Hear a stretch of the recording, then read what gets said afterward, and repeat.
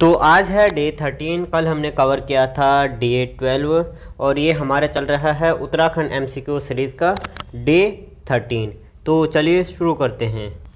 Hello everyone welcome back to channel तो कैसे हैं आप लोग? आई होप अच्छे होंगे।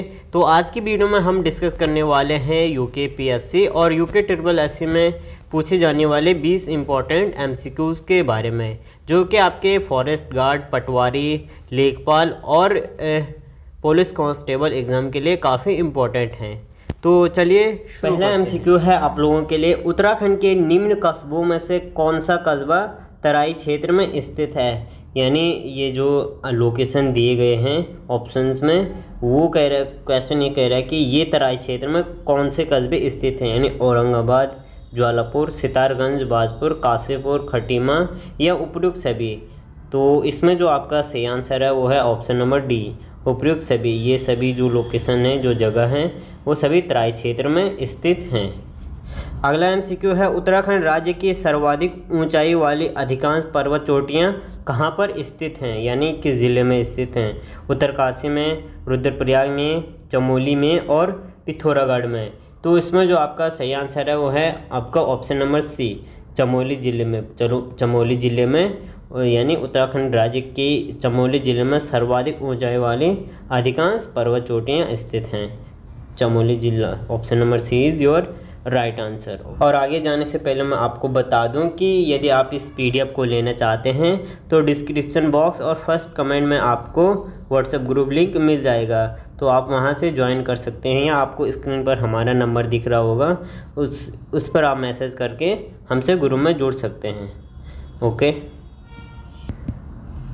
अगला एमसीक्यू है नर व नारायण पर्वतों के मध्य क्या स्थित है? फूलों की घाटी, Joshimath, Tapovan, Badrinath. Option number D आपका इसमें सही आंसर है, बद्रीनाथ। नर व नारायण पर्वतों के मध्य स्थित है, बद्रीनाथ मंदिर। और अगला एमसीक्यू है, नंदौर दून, निम्न में से किस जनपद में स्थित है? उधम सिंह नगर, नैनीताल, गढ़वाल, यानी पौड़ी गढ़वाल और हरिद्वार। तो option number B is your right answer Nainital में नंदोरदून, नैनीताल में स्थित है। अगला एमसीक्यू है, उत्तराखंड में भावर घाटी में किस प्रकार की जलवायु दर्शाए हैं? अल्पाइन उपोष्ण, उष्ण और शीतोष्ण। तो इसमें जो सही आंसर है वो है ऑप्शन नंबर बी उपोष्ण।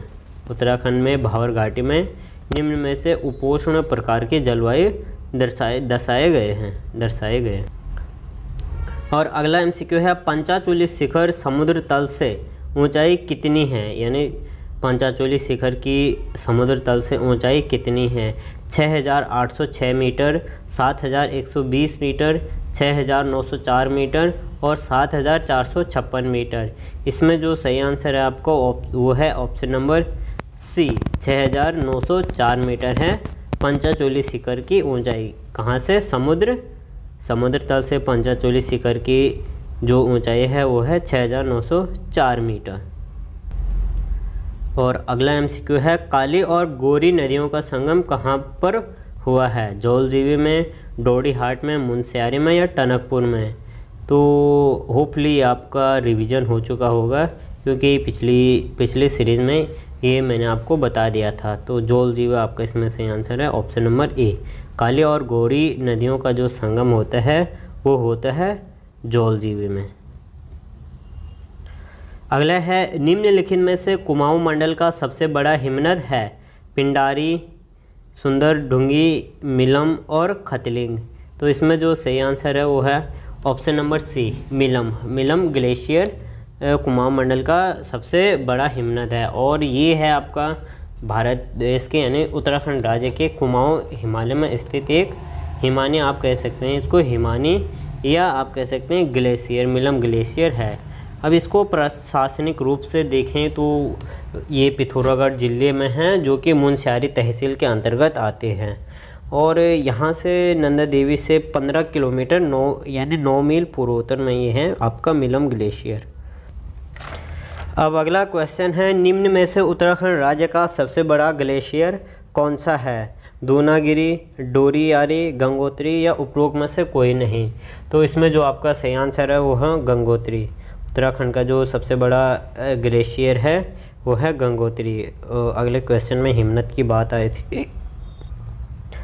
अगला एम है, गोला नदी उत्तराखंड राज्य के किस शहर में स्थित है? काशीपुर, चंपावत हरिद्वार और हल्द्वानी। ऑप्शन नंबर डी आपका इसमें सही आंसर है। गोला नदी उत्तराखंड राज्य के हल्द्वानी शहर में स्थित है। अगला एम है। उत्तरांचल उत्थान परिषद का गठन किसने किया था? डॉक्टर डी डी पंत ने, गोविंद वल्लभ पंत ने शोभन सिंह जीना ने, नित्यानंद स्वामी ने, नित्यानंद स्वामी ने। तो option number C is your right answer Shobhan Singh Jeena ने उत्तरांचल उत्थान परिषद का गठन किया था। अगला एमसीक्यू है, गढ़वाल के लिए केदार खंड। व कुमाऊं के लिए मानस खंड शब्द का उल्लेख किसमें किया गया है? ऐतरेय ब्राह्मण में, स्कंद पुराण में, महाभारत में या वेदों में? तो इसमें जो आपका सही आंसर है, वो है option number B Skanda Purana में गढ़वाल के लिए क्या कहा गया है? केदार खंड और कुमाऊं के लिए कहा गया है मानस खंड। अगला एमसीक्यू है, निम्न में से तपोवन में किसने तपस्या की थी? राम ने, लक्ष्मण ने, भरत ने, कपिल ने। तो मैंने आपको पहले ही बता रखा है कि तपोवन में लक्ष्मण जी ने तपस्या की थी। अगला एमसीक्यू है, कुमाऊं पर गोरखों ने अपना अधिकार कब किया था? सत्रह सौ अट्ठासी ईस्वी में, सत्रह सौ नब्बे ईस्वी में, सत्रह सौ नब्बे ईस्वी में और सत्रह सौ इक्यानवे ईस्वी में। होपफुली कि ये आपका रिवीजन हो रहा है, क्योंकि ये एमसीक्यू दो तीन बार मैंने आपको पहले ही बता दिया। Option number C is your right answer. अगला एमसीक्यू है, निम्न में से किस महिला आंदोलनकारी को सन 1932 में ज़िंदा या मुर्दा पकड़ने के आदेश दिए गए थे? Basanti Devi, Kamla Sharma, Kunti Verma, Asha Purohit. Option number C is right answer, Kunti Verma को।